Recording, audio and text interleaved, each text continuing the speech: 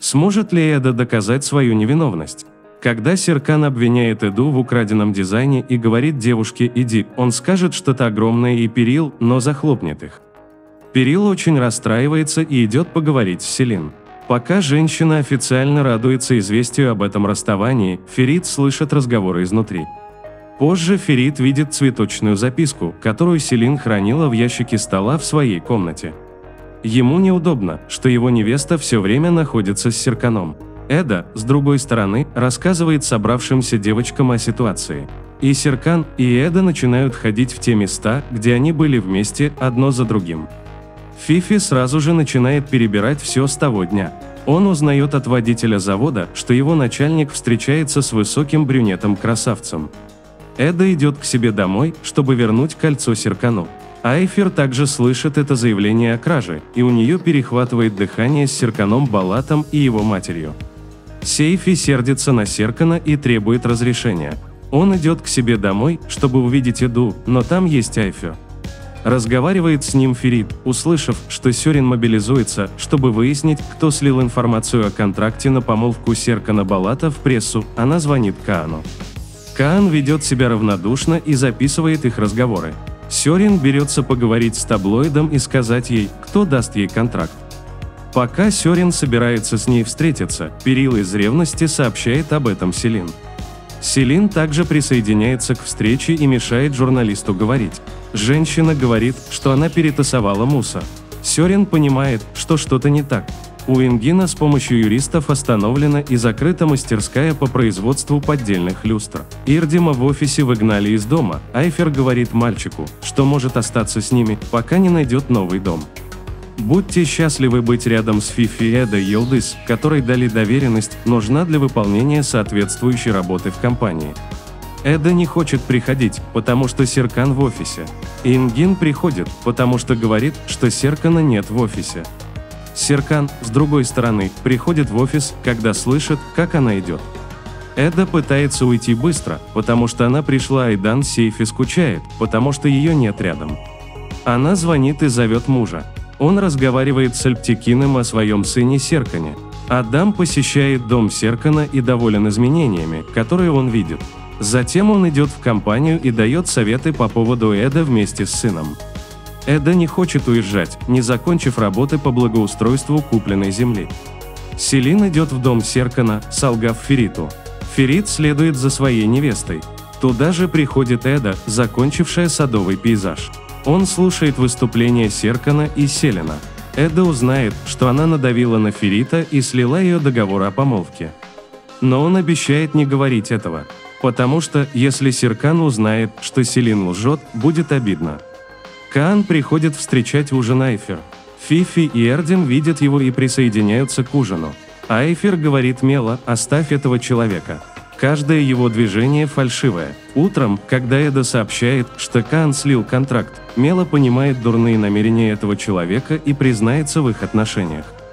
После кражи рисунков Фифи решает эту проблему. На следующий день Фифи и Мела идут в офис Каана. Когда они остаются одни, они оглушают мужчину эфиром и фотографируют снятую им люстру на свой телефон. Они отправляют его Эде. Он идет в компанию и дает подтверждающий файл. Серкан говорит, что теперь доверяет, не глядя в файл, но девушка очень сломлена. Он достает кольцо, отдает его Серкану, говорит, что все кончено и уходит. Серкан обвиняет Эду и говорит «иди». Серкан впервые поделился секретом с Идой. Когда Эда входит в дом с бабочками внутри, ее тетя говорит ей, что начала влюбляться в нее.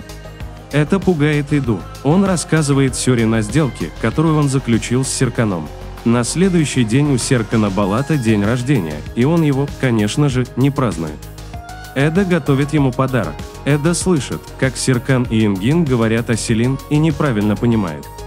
Команда собирается у дома Серкана, так как рядом с компанией идет ремонт. Благодаря Селину они продали свои собственные дизайнерские продукты во всемирно известное место.